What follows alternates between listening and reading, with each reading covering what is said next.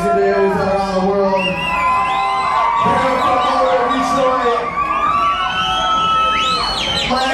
Adriel, and I'm not just a host tonight, but I'm very proud to be up here announcing, number one, the lady Miss Magda,